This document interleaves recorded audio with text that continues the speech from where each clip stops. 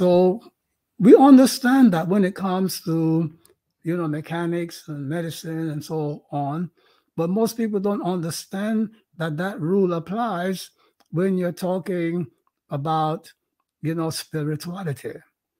They say, oh, the soul, the spirit.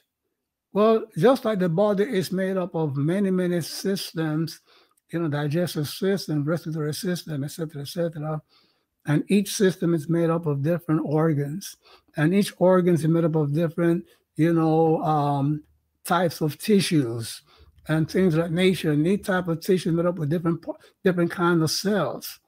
You see that?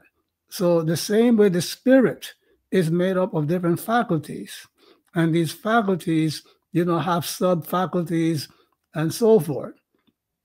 And there's a there's a side, you know, of spiritual teaching that has identified the structural components of the spirit.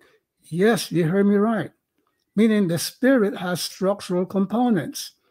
And ancient cultures were able to identify, you know, all of them because the same way, you know, um, your physical body has a finite number of of, of organs so does your cell has a finite number of faculties, parts.